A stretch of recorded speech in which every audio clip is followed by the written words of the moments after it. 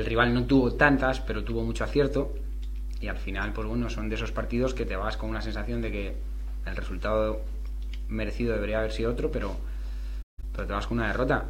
Lo único que hemos hecho es atender al juego, a qué mejorar, que recibimos goles, es verdad, y algunos pueden ser evitables, pero en líneas generales, bueno, podemos decir que el partido fue bastante bueno por nuestra parte, entonces hay que saber comprender que a veces puedes perder haciendo las cosas bien, y eso es lo que, lo que les hemos hecho ver a los jugadores. Estamos bien, estamos bien, con un problema, tenemos dos bajas que hoy se han retirado el entrenamiento Manucho y, y Raúl de Tomás y, y los dos no, no, llegan para mañana a, expensas de que les hagan pruebas y bueno, son dos delanteros del equipo y, y, bueno, hay que hay que analizar ahora cómo vamos a jugar para, para ganar el partido mañana. La única, el único hándicap que tenemos son esas dos bajas. Eh, no sé si ahora con lo que dices, la posibilidad de Javi Guerra para titular tras muchos partidos también sin, sin jugar, si estaría preparado ¿O ves un poco también el, la posibilidad de cambiar el esquema? Hombre, Javi está preparado. Ya dije la semana pasada que estaba entrenando bien y, y que ya se le ve con, con, buenas sensaciones. Entonces, partimos de la idea de que Javi nos tiene que, que ayudar mucho y, y, en ese sentido, pues seguramente va a tener la oportunidad. Con esta bajas te planteas el, quizá el mirar un poco más abajo y, y poder convocar a algún jugador del filial en ese puesto de, de, Raúl de Tomás y de Manucho? Es que no sabemos el tiempo de baja, no te lo puedo. Está claro que si, eh, si fuera un problema importante sí que miraríamos porque, porque bueno, solo está punta a punta, solo está Javi. Aunque en Barba puede hacerlo, Las, eh, Diego pueden jugar en situaciones avanzadas, el Chori, pero bueno, Oscar también. Pero son jugadores que no son referencias, referencias. Y bueno, analizaríamos un poco todo pero como me ha pillado sorpresa hoy, o sea, hoy estaban entrando todos, todo el equipo y se han, se han retirado en el partido que hemos hecho, pues de hoy para mañana no tenemos tiempo de reacción. Hay que mirar dentro del grupo y, y ver el, la evolución que tienen nuestros dos jugadores para, para, ver si podemos mirar abajo. Está claro que abajo hay muy buenas opciones, eh, Beni, Bolaños, Sergio en el juvenil, son jugadores que están bien, pero bueno, a día de hoy vamos a mirar lo que tenemos en, en el grupo.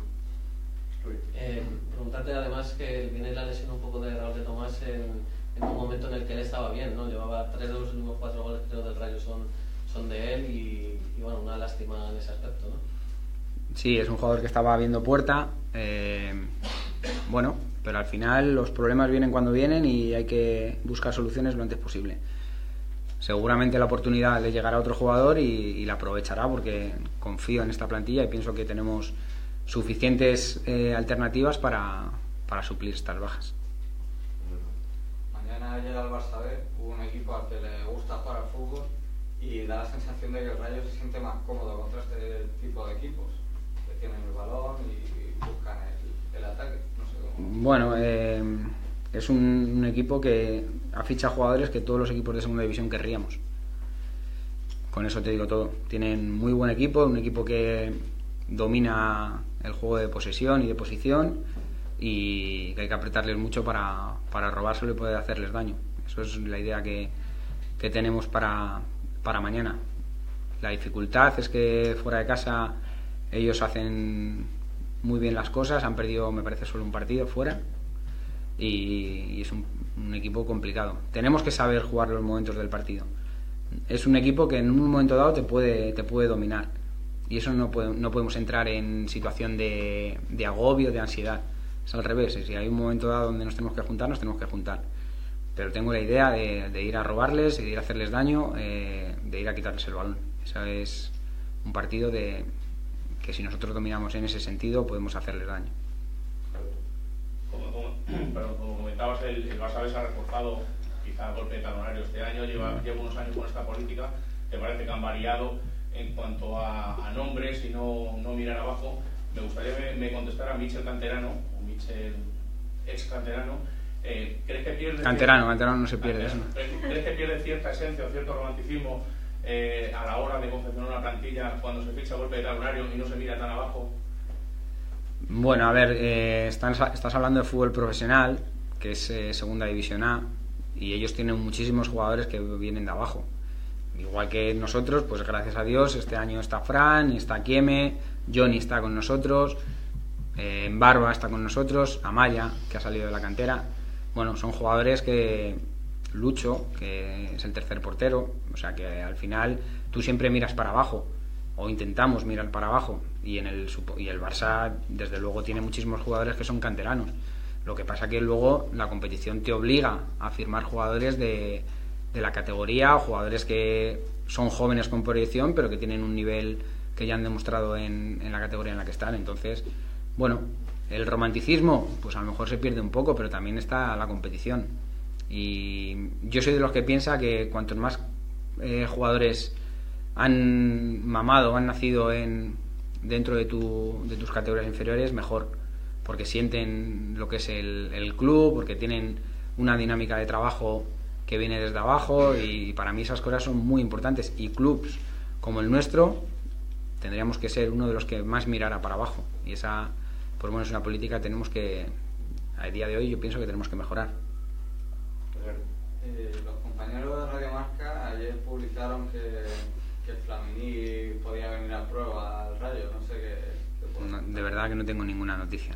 Eh, preocupación máxima y atención máxima en el partido de mañana y bueno, si hay alguna noticia pues me enteraré. Si viene pues bienvenido sea, pero a día de hoy de verdad la plantilla que tengo es la que me ocupa todos mis pensamientos. No sé lo que es una noticia que desde luego a mí nadie me ha comunicado. Lo que sí, Michel, ya se va acercando la época invernal, el abrir el nuevo periodo de, de fichajes. Yo no sé si vosotros ya estáis trabajando un poquito en eso, si sabéis si puede venir uno o dos refuerzos, eh, no, sé si lo tenéis ahí. A ver, eh, para mí la dirección deportiva, la Secretaría Técnica nunca para y, y aquí no estamos parando. Siempre ves alternativas. Eh, está claro que mejorar la plantilla pues eh, es una de las eh, premisas que tiene que tener cualquier dirección deportiva de cualquier club. Entonces, en ese sentido, la nuestra está trabajando en, en, estas, en este camino. Eh, si vienen jugadores o no, bueno, eso lo dirá el mercado y, y dentro de las posibilidades que podamos eh, tener nosotros, pero, pero desde luego que a mí me comentan cosas y que están que estamos mirando y, y analizando el mercado, está claro. Siempre que te puedas eh, reforzar o mejorar lo que lo que tú tienes, si, si entra dentro de los parámetros que, que tiene el club o de las posibilidades que, que manejamos, pues yo creo que se puede hacer. ¿Algo más, por favor, para Michel? ¿Una pregunta? Javi. Bueno, te quería preguntar eh, sobre el, ya que no tuvimos eh, el- la oportunidad de hacerte el, el gesto de, que hizo el Rayo B la semana pasada, preguntarte también un poquito qué, qué te pareció. Bueno, pues eh, que seamos noticia por este esta clase de gestos eh, a mí me llena de orgullo. Eh, demuestra, demuestra que dentro de, de nuestra cantera hacemos las cosas bien.